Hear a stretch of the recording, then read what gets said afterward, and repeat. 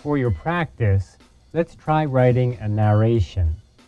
Let's try 100 words of a narration. And here are some topics you can use. This is on page 94 of your ebook.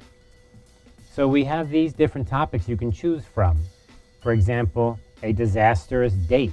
Maybe you've had an experience where you had a date and something went wrong. A frightening experience, something scared you before. A lesson you learned. A journey you took, maybe a trip somewhere. A moment of failure or success. A place you would like to live. So any of these topics, just choose one of those topics and write 100 words in the body for your essay.